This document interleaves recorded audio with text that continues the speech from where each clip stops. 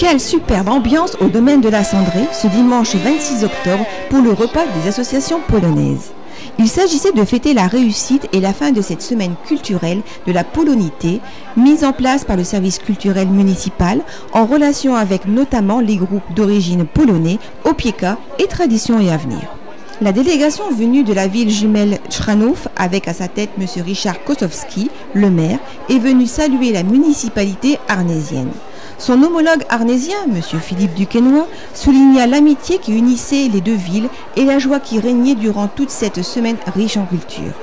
La partie festive du repas était assurée par un orchestre de grande renommée régionale, Club Estudantina, qui commença sa prestation par un accueil musical dès l'entrée des convives. Ensuite, les rythmes traditionnels des polkas et des valses ont entraîné les invités sur la piste de danse. L'amitié et les relations chaleureuses entre les deux villes et leurs habitants ne sont pas prêtes à disparaître et ce sont même des fondements à l'heure européenne.